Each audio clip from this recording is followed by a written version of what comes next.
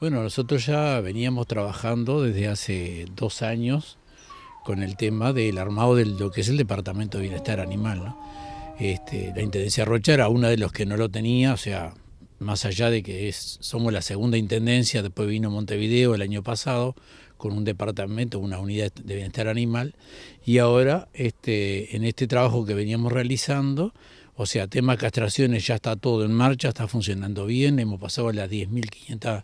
castraciones al 20 de diciembre del año pasado, ya empezamos en febrero con más castraciones, tenemos 14 veterinarios castrando en todo el departamento de Rocha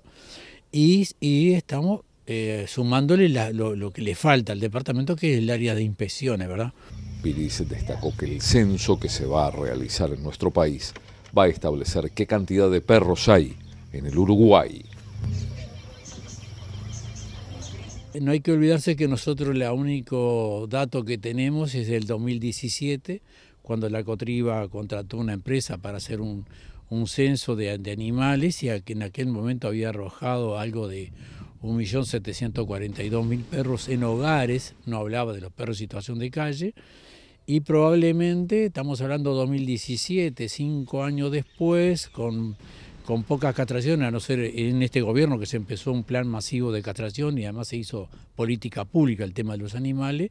este, no había habido ningún programa fuerte de, esterilizaciones que permitiera disminuir la cantidad de perros. Entonces pensamos que hoy